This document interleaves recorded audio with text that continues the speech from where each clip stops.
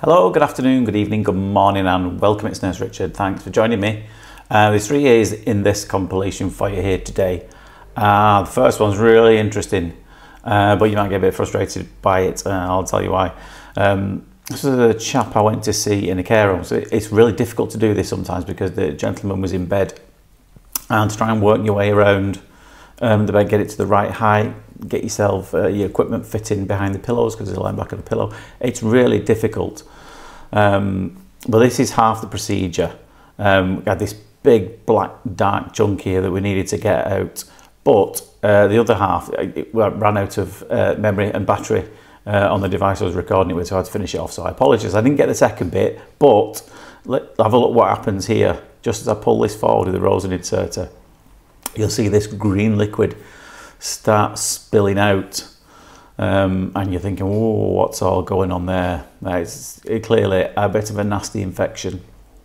Now, whether it's green because it's a mixture of like a yellow pus discharge and the brown of the earwax, that's possible. Um, there is an infection which is quite rare uh, called Pseudomonas, begins with P, um, that you can get that does tend to produce a green discharge, but does come with an unusual odour that sometimes. And I didn't smell any unusual odour there. So I suspect it, there's, there's probably all sorts of bugs and bacteria in this. Um, but like I said, it was only the first bit I got. And what you'll see after I um, pull this out with the Rosen inserter is just a, an ear canal just covered in discharge and pus, not looking very happy at all. I'll be honest, couldn't get all of it anyway. It was just nigh on impossible to do. So it needs needs further treatment, you know, antibiotic spray, possibly a swab as well to isolate what type of infection it is. Have a look at this. There you go. See the greeny tinge to it there. Not very pleasant at all. And there it is afterwards. It's just full of this slime. Like I said, I did try and get as much as I could off that, but it, it just wasn't possible. Um, so it would have frustrated you anyway, even if I had um, enough battery in the devices to actually uh, film that recording, but I just didn't at the time. It was it was a busy day. I must have done about five or six home visits in a row, and that was the last one. And despite me having portable uh, charging ports, um, even that ran out of batteries as well, and I just I just, I just ran out of juice everywhere, literally. Um, the second one here this was a chap, if I remember rightly, who came to see me, and I believe he found me on TikTok. So if this is you, then you're watching, then this is your ear. Because um, a lot of people do come and see me because they've seen me um, on, on a particular channel, be it TikTok, YouTube, or Facebook, uh, which is great. It's free advertising as far as I can, as far as I can see. Um, it's certainly cheaper than Google Ads, um, uh, but which is great hasn't affected the prices, by the way, just because a few people have found me on the internet and some people know me. Um, it's not gone up at all. Not, not profiteering in any way. I'm not suggesting that anybody else is, but I couldn't do that. It wouldn't be right. Um, so yeah, hello to you if you're watching. Now, the first part of his um, his blockage is extremely soft and gooey and sludgy. Um, bit more formed behind it as soon as we get that bit out. Um, and we needed a good old squirt of oil in there so I probably put a bit too much in, and that's why I'm just hoovering this up here. It, it went everywhere. Um, sometimes you do a couple of squirts, sometimes you do up to five, six, seven squirts, depends how, how bad you think it is. But yeah, I probably put a bit too much in here, which can obstruct the vision, and you can get this problem, as you can see. We're getting the old, the old, the old dream sequence. So I'm not actually moving the suction tube there at the moment. It might look like it's moving, but it's not. It's the screen that's wobbling about. So what I have to do is wait till that settles down, find a particular angle where the endoscope isn't touching the um, isn't touching the uh, the oil, so you can get a clearer clearer vision, and then you can start to move the suction tube towards the plug because you, you you might be nowhere near it. You know, it's very disorientating when it does get like that. But uh, it became clear enough so we could grab hold of it. Like I said, a bit bit drier and a bit more bulky a bit lower down this one. So the rest of it didn't uh, didn't put up too much of a fuss getting the last bit out. It just got a bit too smeary again there, so I just had to come away and wipe the camera and uh, and go again. Looks like he's old. I'm not sure where he was actually. Um, looks like he's holding his ear up, open there because it is quite uh, circular. There. Uh, we do do that with quite a, a, few patients. Do it on the, on the last one as well, which was, which, which was a young lady.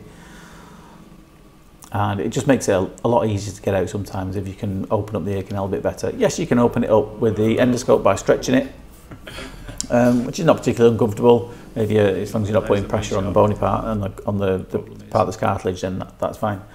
But sometimes it's just easier to ask the patient or family who's with them just to grab it, give it a little bit of a pull. Uh, and that really helps. So this last one here is two ears from the same uh, young lady. it was a young lady, uh, mid, mid, mid-teens, I want to say. Again, hello to you if you're watching. And it's been having terrible trouble for quite a long time and I can see why because this one was um, it was extremely stuck. It was so adhered uh, to the ear canal no gap the, the, second one loads of gaps around that. That came out dead easy. Uh, but this one um, it was really wedged in there. Really wedged in there. So I'm just searching around trying to find a decent grip because I can see the whole thing is moving. I think it is worth persevering with the suction here before we get uh, any other kind of tools out. As she was extremely nervous, I think it would be fair to say, which uh, a lot of young people are.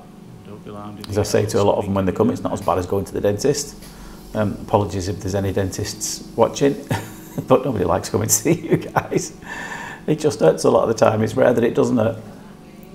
Even the anaesthetic hurts. Oh yeah, I, am going for a, a procedure. In fact, uh, I got a call yesterday. Um, I've got to go and have some uh, surgery. Nothing major, so don't, don't, panic. But I had a wisdom tooth removed. How long ago was it? about 10 years ago. And at the time, they said, we can only remove uh, uh, it uh, partially, we can remove part of it. We've got a partial coronectomy, they called it. And the reason being is they had to leave the root in there because they said the root was too close to one of the nerves, uh, one of the facial nerves, and it, it could have uh, comes with some risks of um, of affecting the nerves in the face, which could have affected speech, sensation, and all that. So they decided it wasn't worth the risk. But that was based on um, an X-ray, which is detailed to some some extent, but um, not as detailed as an MRI scan. So I've been getting loads of infections in this root because it's just this, this dead root that's in there and it's all closed over uh, I'll get a load of jip from it. Um, so I got myself re-referred back to what we're going to do about this. Can't keep having antibiotics every time it happens. Um, so they did an MRI scan and they found that um, the, the, more detailed MRI scan found that the, the nerve that was passing by that route was uh, quite a distance away um, from that route, so there was no risk at all, or very, very, very low risk anyway, of any damage being caused. Um, so they agreed that they're going to do some surgery in a few months' time. Been waiting about two years for that for that appointment just to discuss that with me. but that's another story. Uh, another few months to wait for some surgery.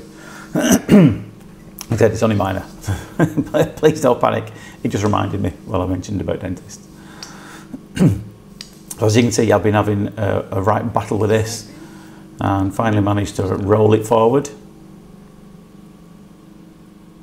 Uh, I think it would be fair to say she noticed a reasonable difference as soon as this thing came out.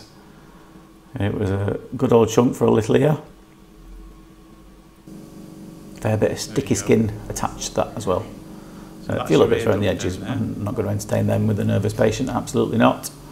Um, second one wasn't giving her any trouble at all, but it's worth getting rid of this because uh, we don't want it to turn into the other one. and this practically jumped into the tube and said, uh, said, yeah, I'm, I'm quite happy to come out quite quickly. Wish they all went like that. Fortunately not. you can just see some of that sticky skin trying to come with it, can't you? Like a spider's web. And there it is, nice and clear afterwards. So I hope you enjoyed that. Uh, but for now, take care of yourselves and I'll see you later. Ta-da.